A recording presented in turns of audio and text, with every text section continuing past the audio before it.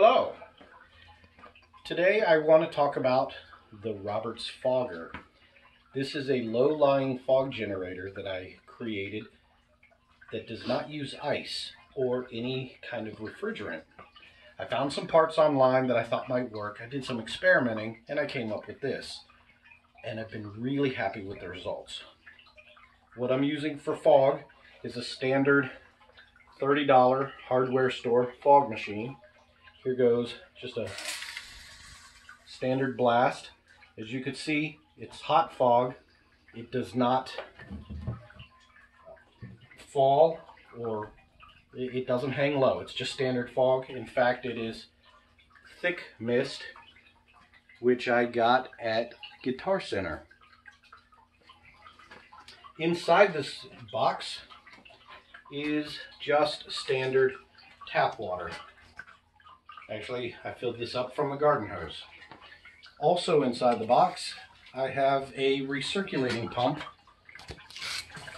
that takes water from the bottom and pumps it up into the bucket faster than it gets used so it overflows back down into the reservoir and this could be filled to uh, the height of the bucket if need be so first I'm going to run the fog machine through the box without turning it on.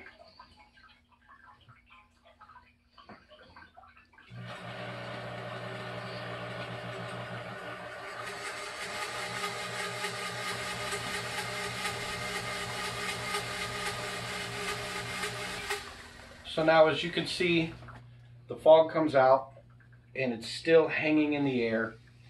It's just going to rise and act like standard fog. Next, I'm going to turn the machine on and we're going to wait a moment.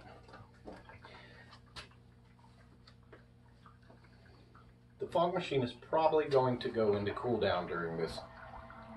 And in that case, we're just going to wait as a continuous shot because I want to prove I'm not adding ice to this box. This is straight up standard average water. I should probably be using distilled water, but for this demonstration, it's completely fine. So let's see if it's been on long enough. So here we go.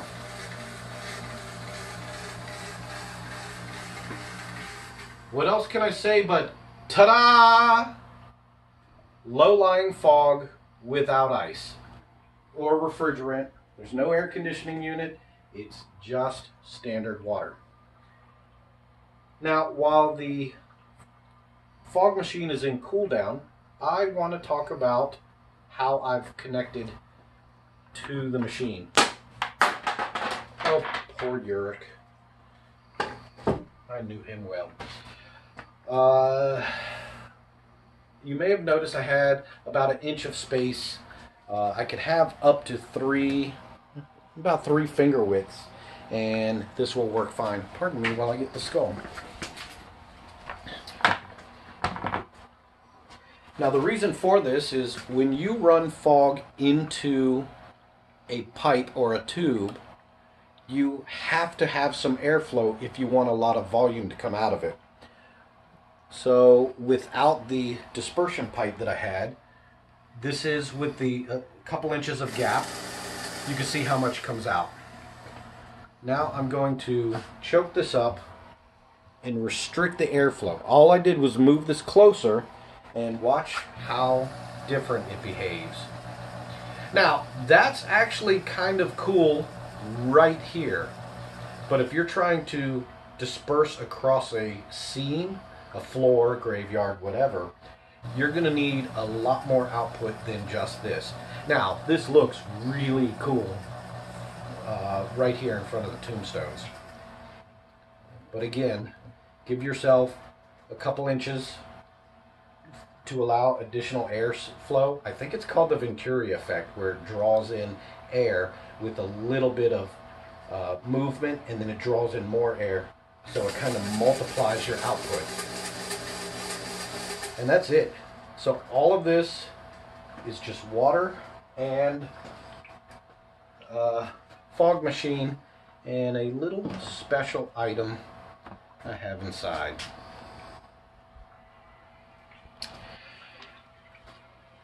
And maybe I'll get to that in a moment.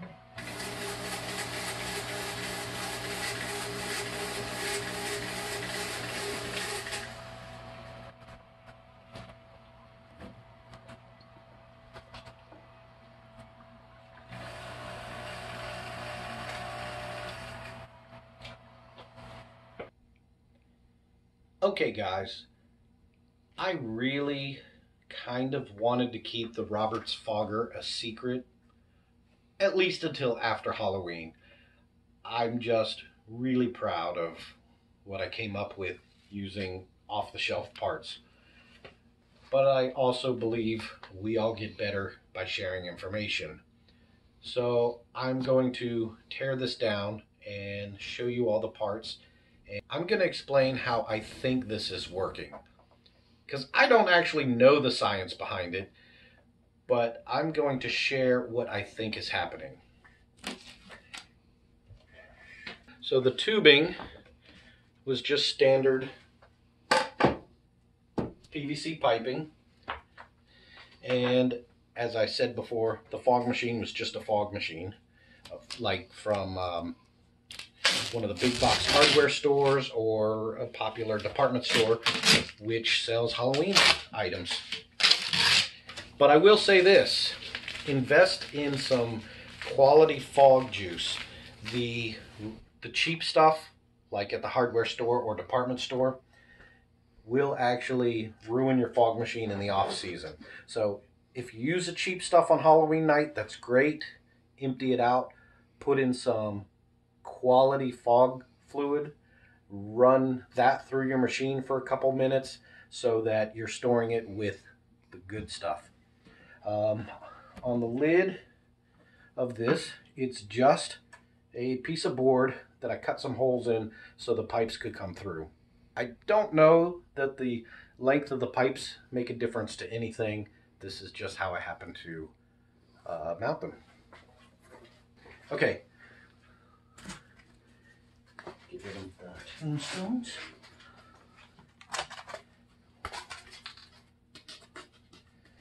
So inside here, as you can see, there is a bucket. And in the bucket, I have suspended a pond misting unit. Yeah. And this is a, a 10 head uh, fogging unit. Now, the reason I have it in this bucket with uh, an overflow pump is because as the fog is generated from this, it uses up water. So I have to replenish the water. And it, this has an optimum depth that it works at. And I've worked it out and that's from the top of this to the top of this is I, I don't know the measurement, but this is the optimum depth for that. So what I'm going to do is I'm going to turn the fog unit on and as you can see there's a red light here but it's not going to come on until these sensors are completely covered in water. Uh, before I start the pump I want to show you I'm using a 110 volt to 48 volt transformer high voltage, very dangerous. Please use caution if you're going to build one of these um, or get an enclosed high current 48 volt transformer. So as you can see this has been on but it has not uh, turned on. So I'm going to start the recirculating pump and I'm going to uh, talk about how I think this works. I was reading somewhere uh, online about how fog, uh, low-lying fog works and that the fog juice picks up moisture off of the ice. So having ice around a tube that isolates the fog from the ice Uh, you run the tube through a cold. Oh, there. See, it started on its own. The water level got high enough. We're going to let this continue to fill. If you run a tube through ice and you isolate the ice from the fog, sure the fog will cool, but it won't get denser. It won't it won't stay heavy because it's merely cold.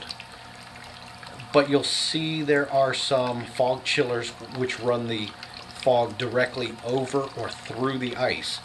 And what that seems to be doing is picking up humidity or moisture off of the ice and making the fog not only cold but heavy. And I think that's how this works. So I'm skipping the ice and I'm skipping the cold and I'm giving it a lot of humidity that the fog can run through and pick up. So as the hot fog goes in, it merely cools by contact with water. This is not chilled water. This is out of the tap. And in fact, after this runs for about an hour, this unit gets warm and the water is kind of warm to the touch. Not bath water warm, but not cold.